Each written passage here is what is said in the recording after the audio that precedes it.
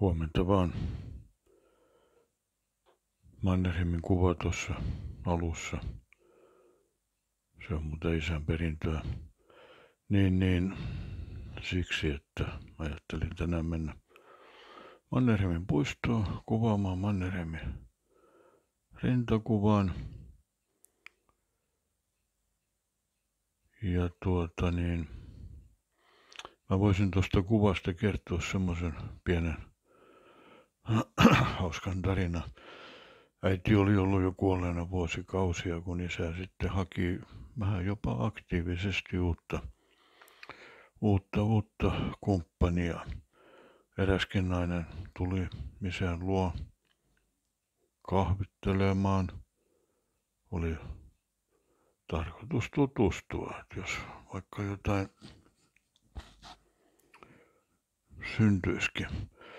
Isä oli laittanut kahvit ja pullot olohuoneeseen valmiiksi.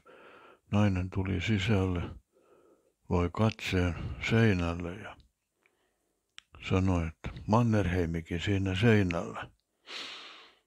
Kääntyi ja käveli ovesta ulos. Ja se tapaaminen oli siinä. Mä sanoin isälle, että Mannerheimi herättää edelleen yhä voimakkaita tunteita ja kaikki eivät Mannerheimin kuvaa palvon niin kuin sinä. Etteiköhän olisi parempi, kun pistät sen kaappiin piiloon, niin ei naiset juokse karkuun. Isä sanoi siihen vaan, että Mannerheimi ei lähde ennen kuin minä lähden. Hmm, no, niin siinä sitten kävikin. Mannerheimin lisäksi en taida käydä tänään muualla kuin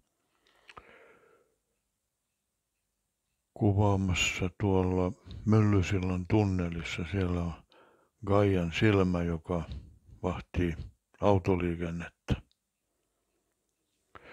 Siitä sitten enemmän myöhemmin.